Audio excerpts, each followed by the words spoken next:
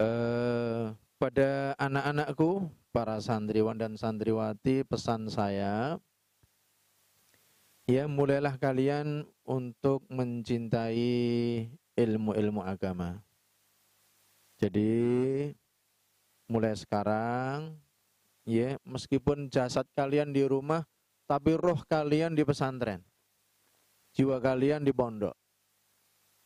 Ya, buku-buku yang sudah kita terima, nanti insya Allah akan mulai diajarkan melalui online.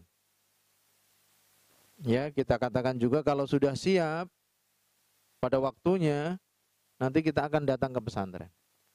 Sebagaimana tadi ya kita doakan mudah-mudahan segera bisa kita kembali ke pesantren. Ya, pesan saya cintai ilmu agama. Kemudian ikhlaskan niat di dalam menuntut ilmu agama di pesantren. Cuma ini ya, modal yang paling utama, yang paling besar, yang paling agung yang akan menjadikan kita itu nanti kuat mondok niat yang ikhlas. Niat yang ikhlas itu bagaimana? Ya kita niat menuntut ilmu. Ini perintah Allah Subhanahu wa taala perintah Rasulullah sallallahu alaihi wasallam. Dan ini juga amanah dari orang tua.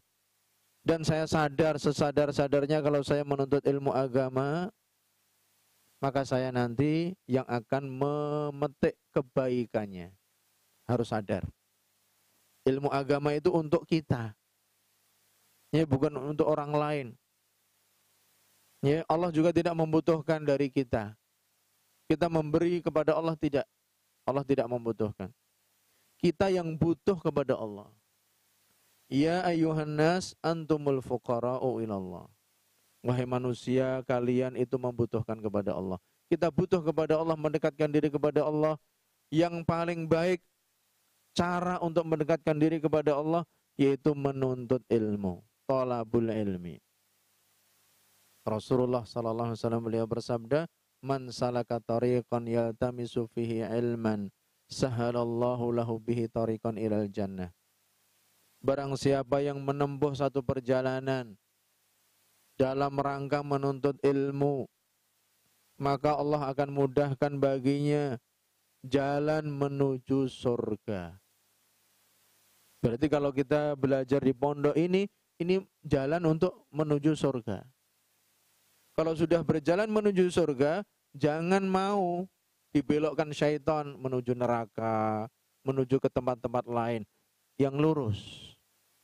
Ya, jalan menuju surga. Istiqomah. Karena menuntut ilmu itu ya, mulai dari kita lahir, Pak kecil ya di atas ayunan ibunda kita sampai nanti ya kita wafat. Itu terus ya kita belajar menuntut ilmu. Maka dari itu, ya, pesan saya ikhlas. Ya, niat yang ikhlas yang akan bisa membantu kita. Kemudian yang ketiga, ya tadi yang pertama mencintai untuk belajar ilmu agama, kedua ikhlas. Ketiga, ya hendaknya kita senantiasa ya mendoakan orang tua kita. Karena orang tua kita itu sudah susah payah mencari nafkah untuk membiayai kita ke pesantren. Mengantarkan kita ke pondok. Ya.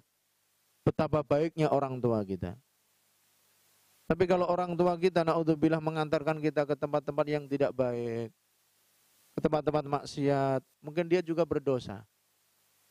Ya, jelas dia berdosa. Tapi alhamdulillah orang tua kita mengantarkan kita ke tempat yang baik ke tempat belajar, ke tempat pesantren. Ya agar kita menjadi ya orang yang bisa menuntut ilmu, bisa memahami agama. Kemudian kita tahu bahwasanya niat di dalam menuntut ilmu, niat di dalam belajar ilmu agama itu untuk mengangkat kejahilan, kebodohan dari diri kita sendiri itu yang pertama. Kita sebelumnya nggak bisa wudhu dengan benar. Supaya wudhu dengan benar gimana? Belajar. Kita nggak bisa sholat dengan benar. Supaya bisa benar sholat kita ya belajar. Kita nggak bisa ya memahami beberapa permasalahan di dalam agama ya kita belajar. Mengangkat kejahilan. Kemudian setelah dari diri kita, kemudian dari orang lain. Ya, dari orang lain. Mendakwahi, mengajarkan dan seterusnya. Jadi yang seperti itu ya hanya ya tiga ya pesan saya cintai ilmu, ikhlas dalam menuntut agama, kemudian mendoakan orang tua. Insya Allah kalau kalian ya tiga ini dikerjakan, insya Allah nanti bisa istiqomah di dalam menuntut ilmu. Ya menjadi orang yang soleh, soleha, anak yang berbakti kepada kedua orang tua. Jadi barangkali ini pesan saya kepada adik-adik, kepada anak-anak, ya santriwan dan santriwati. Mudah-mudahan nanti kalian ya betah di pesantren, senang di pesantren, menjadi penuntut ilmu, ya yang menghafalkan Al-Qur'an yang lebih baik daripada kita semua. Ya. Allahumma amin.